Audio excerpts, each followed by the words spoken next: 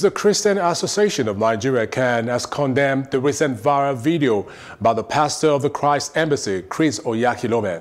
The vice chairman of CAN's Northern State chapter, Reverend Joseph Hayab, said the video, which took a swipe at pastors for supporting the federal government's lockdown directive, is an attempt to ridicule the church. When pastors start coming out to show some level of superior spirituality, then people like me begin to be afraid whether in the first place is God. If I begin to boast as if I am more godly than others, I'm more prayerful than others, what prayerful? Okay, very simple.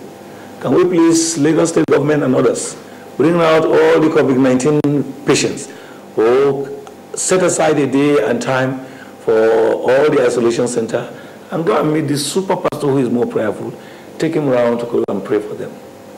Or what is stopping him from doing that? So that he will prove to other pastors that he's more prayerful.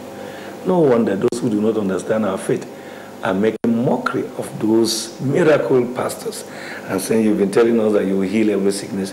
Can you please go and do this? I want us to be careful what we say when it comes to public issues like this.